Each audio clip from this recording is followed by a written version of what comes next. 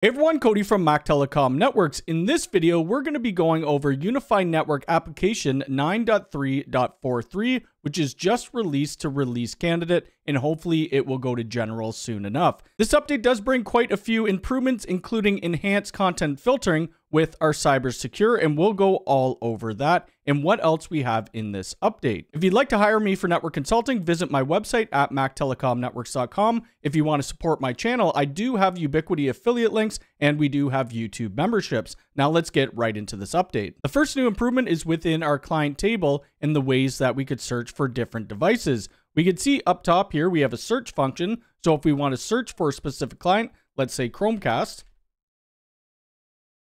we're able to do that. We could also do online or we could do offline devices. And then below, we could search for the connection type. So we could either search for wireless clients or we could search for our wired clients. And then we have our access points. If we want to look for a specific client that is connected to a specific access point, we'll just say my U7 Pro in wall. We could see that there's two clients on that right now. Chantel's PC, and the NVIDIA Shield. Currently, I only have one SSID enabled as I've been doing a lot of different testing and ripping apart my network. And this says Dolores, which is my Wi-Fi SSID, but if you had multiple SSIDs, you would see it here and you'd be able to filter from that. We also have our different VLANs, which you would see all of your VLANs. Currently, we just have a flat network at my house. Something else nice about this new client list, and this is all in real time, if we click, we could see different vendors, and I'll just say Google, and we could see everything that is Google related within my client list. Now, even more within this client list, we have different radios, so we could choose between our 5 gigahertz, our 2.4, or if you had 6 gigahertz enabled, and then our different Wi-Fi generations. We have Wi-Fi 4, 5, and 6 here. We could also check out by our link speed and we could do the usage as well as our different configurations. So that is really cool. At the bottom, we could also add a client and we could customize the table. When we click customize the table, we could turn on or off whatever we want to see. So if we want to see the MAC address of all these devices, we would just check it on and then the MAC address would be added. Another great improvement within UniFi Network 9.3 is the new alarm manager. And this is pretty much like the alarm manager within UniFi Protect, but for UniFi Network. You do need to have UniFi OS 4.3 to use this, which is currently still in early access, but once it comes out, you'll be able to set up different alarms. We'd see all the default alarms here and we could create our new alarm. We have a couple different alarm types. So we could do monitoring for client device connection, client device disconnected, or high traffic. We could do internet, so internet disconnected, high latency, packet loss, data limit.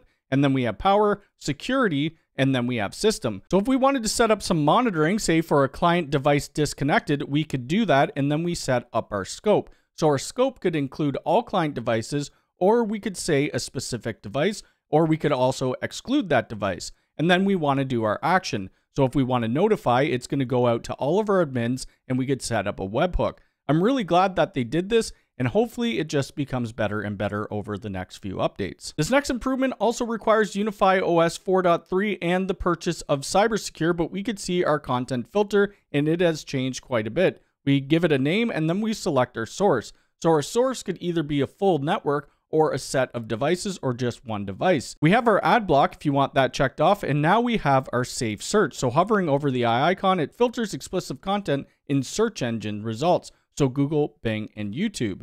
We also have different filtering, so it could be off, enhanced, or basic, adult, and malicious filters. Now you can see all of the different categories, which there are quite a bit. So we have adult and sensitive content, we have AI and crypto, we have business and professional, we have culture and entertainment, we have network infrastructure, we have new and risky domains, security and threat protection, social media and communications, and then we have other. We also have these allow list, block list, and we can put these content filters on a schedule. So this is a huge leap forward, and I really do think that CyberSecure is worth the money each year. Another improvement within this update is our WAN SLAs, and these are just the ones that the system created for me by default, but we could create a new SLA. From here, we would give it a name, server condition verification server. For a verification server, we could either do it a type by ping or we could do it by DNS. And then below that, we could do the ping intervals and the time period. We also have packet loss, threshold, jitter, and we also have latency, and then we could add a second verification server if you'd like. They have also redone the system logging within our UniFi network application. As you can see right now, we're just doing all categories, and we could see different types. We could see the category, the events, and then the description. Cody McCallum access UniFi Network using this web source, and it will give you also the IP. Also on the left-hand side, we could look by severity. So we have low, we have medium, we have high, and then we have very high. And then we have traffic logs in the flow section, and we could do our time range. We could also look by the different categories. So we have monitoring, internet, power, security, system, and then we have host, and then we could do all of our event types. And we have uh, push notification settings and the export to SIEM server. I'm not running a SIEM server right now, but apparently they have done a lot more with that, and it gives you full CEF compliance for seamless integration with your SIEM platform. That's going to be it for this video on UniFi Network 9.3. I really do think CyberSecure is worth it with all of those new content filtering options. Also, the new client list is really nice and easy to work with. Let me know what's the biggest improvement down in the comments below. If you like this video, hit the thumbs up button. If you're new here, please subscribe and hit the bell icon. All right, thanks.